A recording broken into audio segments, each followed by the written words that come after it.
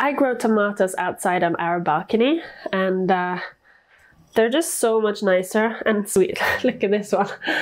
They're so much nicer and sweeter than the ones you get at the shop. And I just, I like to imagine they're healthier too because they've been ripening in the sun and not in the back of a truck. So they've gotten all that, all that vitamin D and stuff from the sun. I don't know. That might not be how it works. But uh, yeah, this is just from today. And we already had this in the fridge, so we're clearly not eating them fast enough, or I am growing them faster than we can eat them. So I thought I'd make some homemade fermented salsa, because then I can keep enjoying tomatoes into the future and we don't need to waste the food. Disclaimer, I know there are lots of different ways to make salsa, but this is my way. It's probably far away from the traditional way, but it's my way, okay? So that's been said. So let's uh, start. Check the mic and make sure it sound right, boys. If you're here for mediocre knife skills, then welcome. This is the place.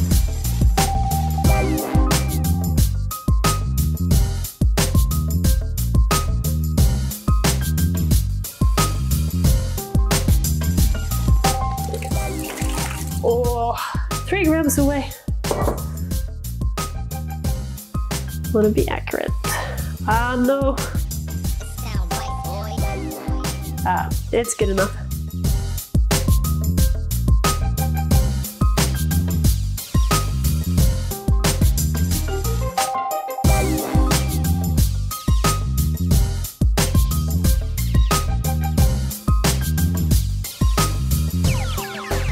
It sound right, boys. When you've cored your chilies, it's time to weigh them all. I'm kind of aiming for 220 grams, but I don't think I have enough. Let's see. Oh, is it? No, 195, but that's okay. Look at that. I've actually harvested this garlic myself. Not from the balcony, but from a farm. We pay a sum every year and we contribute a certain amount of hours of work. And then we get to harvest. So it's local, organic, all of that good stuff. Moment of truth. 50. I think we have it. Oh, great.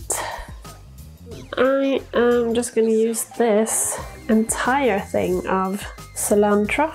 You could definitely add more cilantro if you like that, but I don't really like cilantro. I have a mild case of that. Cilantro tastes like soap thing.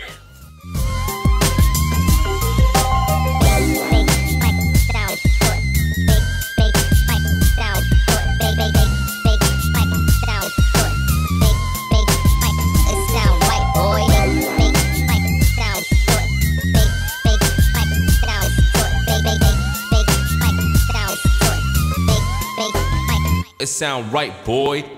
Chop, chop, chop, chop, chop, chop, chop. Chop, chop, chop, chop, chop, chop, chop. And then I want some red onion. How much is that? That's too much.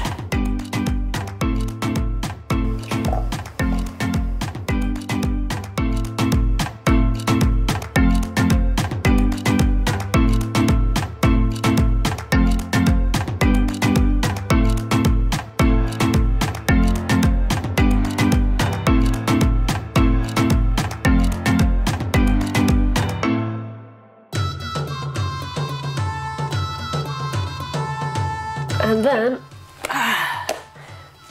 this is what I think a lot of people are gonna get upset about. I'm gonna add some cabbage. Cabbage is not gonna add a lot of flavor, but it is gonna add some really good bacteria that's gonna kickstart the fermentation. Make it more likely to not go bad.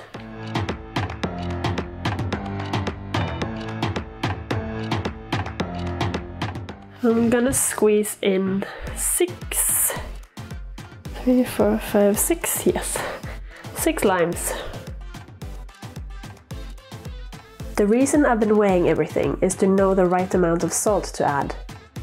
When fermenting salsa, you want to add close to 2.5%, and weighing is the only good way to calculate that. You don't have to be good at math, so don't be discouraged. Just take a calculator and punch in the total weight of your vegetables and multiply it by 0.025. And that will give you an appropriate amount. So I need 74 grams. The salt is what will keep the unwanted bacteria from growing in your salsa. So it's important that you get the right amount of salt to keep the bacteria away, but less salt will make the salsa more enjoyable. So that's why we don't want too much, we don't want too little, we want to be accurate and weigh it out.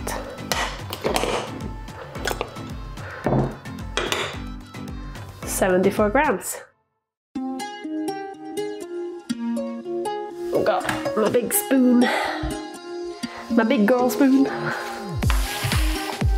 Try not to spill any.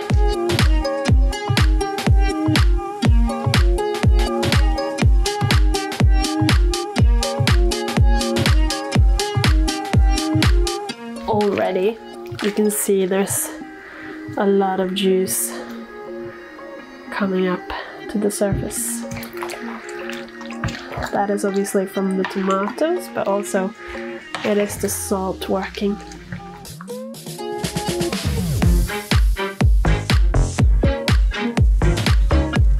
Okay, I think that's pretty well mixed. I want to taste a little bit. Mm. It's salty, it's sour, tangy from the lime, and uh, oh, no cabbage left behind. It's clean. Tastes pretty good to me. So I'm gonna let that sit for 15 minutes and come back to it. Look at that. Whoa! Try not to pour it out. All that liquid has come out. That looks ready to me. I've pre-washed these jars.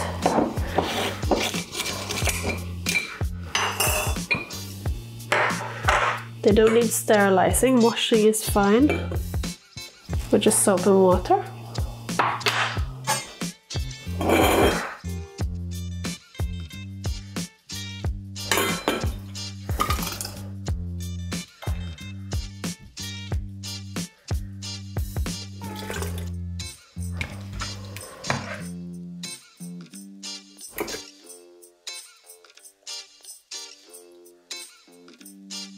Because it's gonna ferment. Oh, that's too much. You need to leave some space up here. So now I've actually got too much. Let's see. Can I? Like that much? I'm staying on the safe side. We need the juice in there.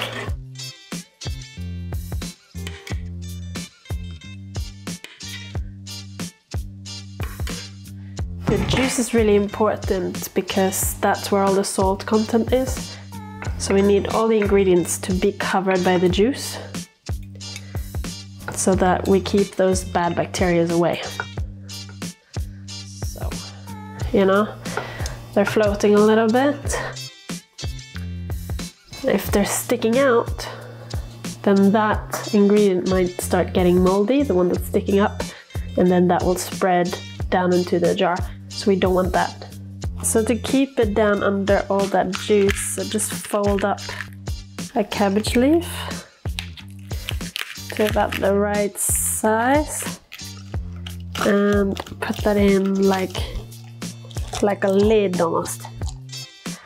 Squeeze that down And that will keep everything from floating to the top. When you finish preparing your salsa, you need to put it away to ferment. Find a location in room temperature, but out of direct sunlight.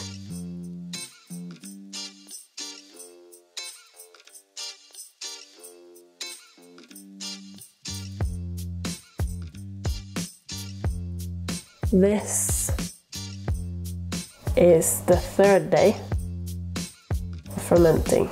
You can see a little bubble here. And here.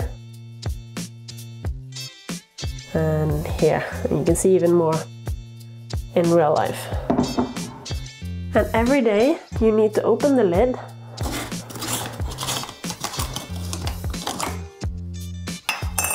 and let out any potential pressure that has been formed from the gases. As the gas starts to push the ingredients up, you want to go in and squeeze it back down. Squeeze all the gas out. Carefully, as you see, or it can very easily spill.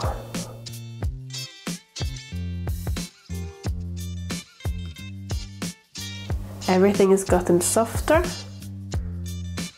So it's normal that you can squeeze it further down than when you first made it.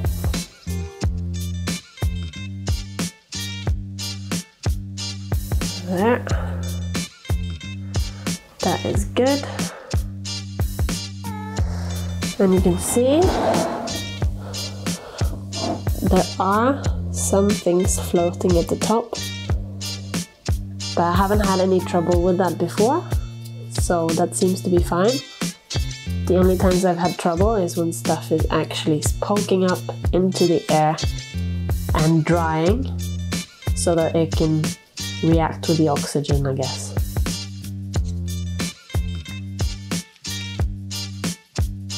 I really hope this inspires you to try this for yourself and to ferment your own salsa because it's so good for you.